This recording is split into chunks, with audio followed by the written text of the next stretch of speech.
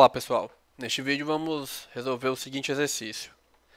Um trocador de calor de tubo duplo é construído com um tubo interno de cobre, né, condutividade térmica de 380 watts por metro Kelvin, de diâmetro interno de 1,2 cm, diâmetro externo 1,6 cm e um tubo externo de 3 cm de diâmetro interno.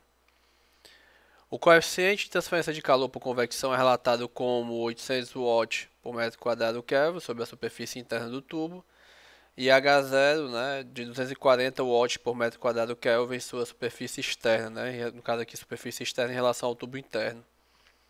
Para a resistência de incrustação, considere a resistência interna igual a 0,0005 metro quadrado por Kelvin por watt, metro quadrado Kelvin por watt do lado interno do tubo interno e 0,0002 metro quadrado Kelvin por watt no lado do ânulo.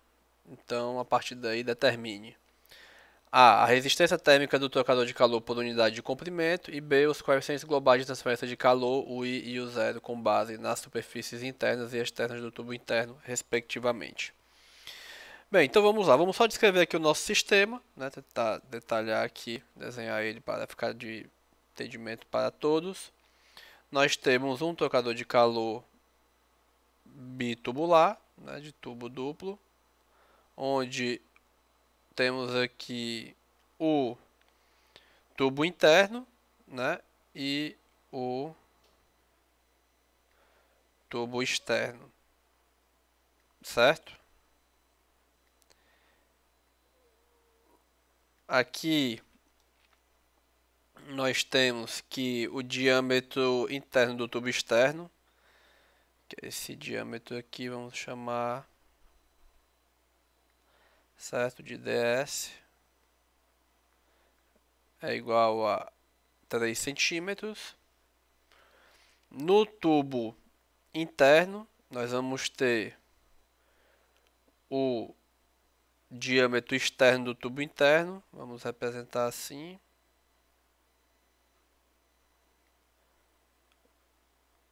Igual a 1,6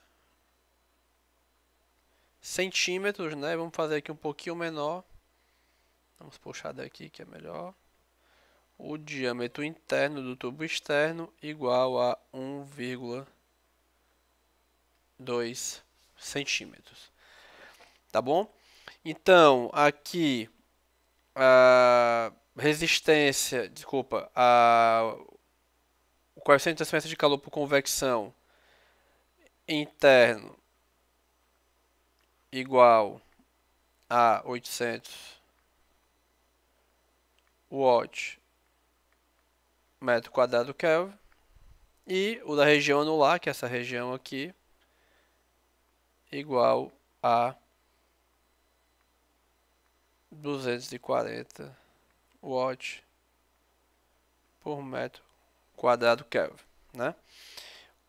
A resistência da incrustação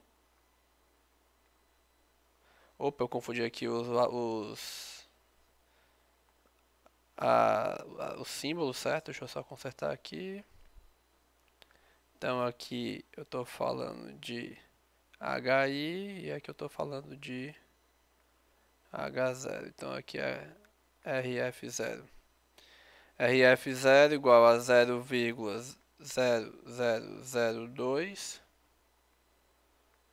metro quadrado Kelvin por watt. E aqui RFI igual a 0,0005 metro quadrado Kelvin watt. Ok? Então aqui é a descrição do nosso sistema. Vamos lá então para a resolução do item A, que é o cálculo da resistência total do sistema, tá bom? Então, vamos lá para o item A. A resistência total do sistema, né? A gente tem algo desse tipo aqui. Ah, vamos... Deixa eu ver se eu consigo simbolizar isso.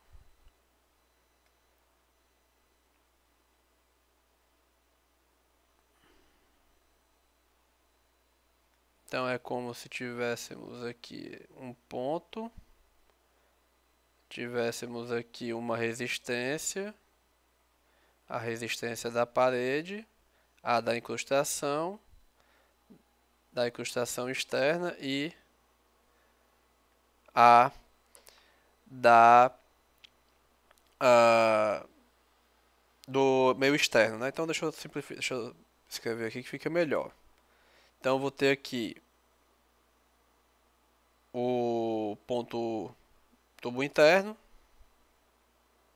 resistência convectiva, resistência de incrustação interna, resistência da parede, resistência da incrustação externa e resistência de convecção no ângulo. Né? Então eu tenho aqui, ah, vamos chamar aqui do ponto I, né? da região interna, e aqui o ponto O no ângulo. Né? Então estou partindo daqui, que é o I, e aqui seria o O. Então aqui eu vou ter a minha resistência convecção interna. Deixa eu simbolizar a incrustação aqui com o verdinho. Resistência incrustação interna. Resistência da parede, né, do tubo. Resistência de incrustação externa e resistência convecção externa. Só lembrando, pessoal, quando eu falo de externa aqui para um tocador de calor bitubular, eu estou falando dessa região anular, né, que é a região que fica entre o tubo interno e o tubo externo, tá bom? Então vamos lá. Resistência convectiva interna. Nós temos 1 sobre HI vezes AI, né? Mais a resistência de incrustação interna sobre AI mais a resistência da parede, né, como trata-se de um tubo, nós temos isso aqui, diâmetro externo sobre o interno, né, que é da parede, 2π KL, mais a resistência externa da incrustação sobre a área externa, mais 1 sobre H0, A0, né, que aqui é a resistência de convecção externa. Então, pessoal, uh, nosso próximo passo aqui é calcular né, a área uh, de troca térmica né, interna e a área de troca térmica externa. Então, nós temos que a área interna consiste em π di vezes L, lembrando que eu estou falando da, da casca cilíndrica, né, que no caso são as paredes do tubo, como eu estou falando de uma unidade de comprimento, então teremos π vezes 1,2, que é o diâmetro interno do tubo. Já vou colocar aqui em metro, vezes 1, certo? Para deixar tudo em metro. Então nós vamos ter que essa área aqui é igual a 3,77 vezes 10 a menos 2 metros quadrados. Tá bom? E aí, a nossa área externa né, do tubo será igual a π d0 vezes L. E aqui nós temos π vezes 1,6 vezes 10 a menos 2 vezes 1, resultando em 5,03 vezes 10 a menos 2 metros quadrados, tá bom? Então agora devemos apenas substituir os valores.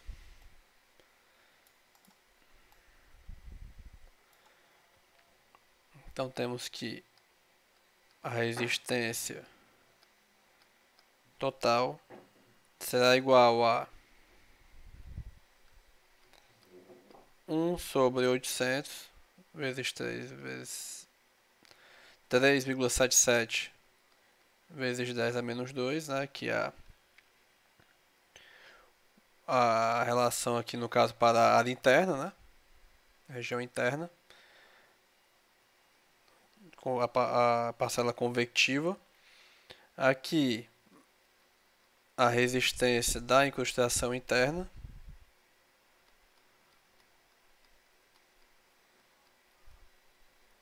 mais a resistência da parede.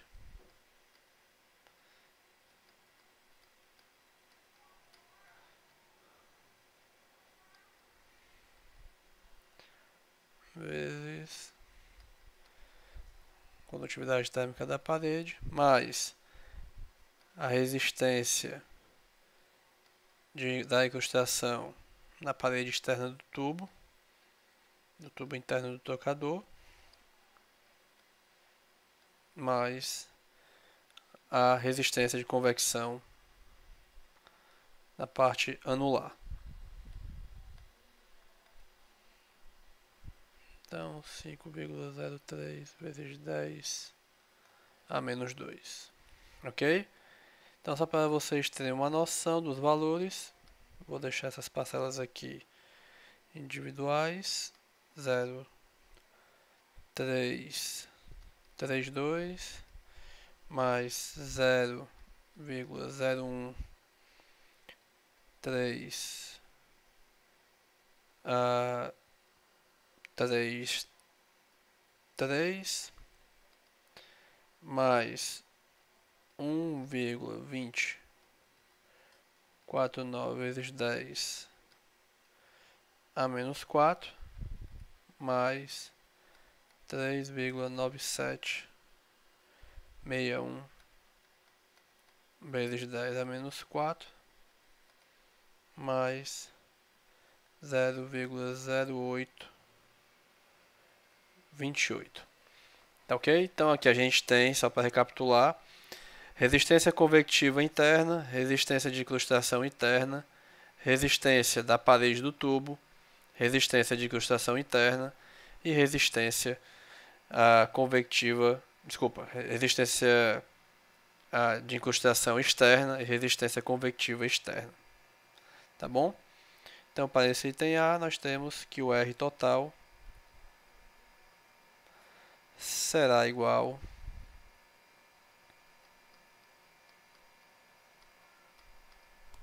será igual a 0,1298 Kelvin Watt. Certo? Para o item B, temos sabemos que 1 sobre o i vezes AI, né? isso aqui é a mesma coisa do que 1 sobre o 0 a 0, né, o coeficiente global de transferência de calor relacionado com a área interna e o coeficiente global de transferência de calor relacionado com a área externa, né, esse U e o 0, respectivamente. E aí a 0 são as áreas internas, as áreas interna e externa do tubo, respectivamente, certo? Isso aqui é igual à resistência total. Então aqui, uma vez que já calculamos o, as áreas, né, nós podemos achar facilmente o a, os coeficientes globais de transferência de calor relacionados com a área interna e com a área externa. Então, para a área interna, nós temos que o I será igual a 1 sobre R total vezes AI, que isso aqui é igual a 1 sobre 0,1298 vezes 3,77 vezes 10 a menos 2, que nos dá que o I será igual a 204,35 watt metro quadrado Kelvin, certo? E, né, temos que o coeficiente global de transferência de calor, de transferência de calor em relação à área externa do tubo interno será dada por isso aqui, que será igual a 0,1298 vezes 5,03 vezes 10 a menos 2. Que isso aqui vai nos dar um coeficiente global de transferência de calor em relação à área externa igual a 153 watt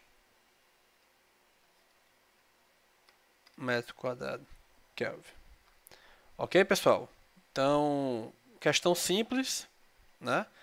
Mas que pode gerar problema caso alguma parcela, por exemplo, de a resistência de consideração seja colocada de forma equivocada, né, ou a área calculada de forma equivocada, ou valores uh, pegos né, de forma também duvidosa. Tá bom? Então espero que eu tenha ajudado. Muito obrigado e até a próxima.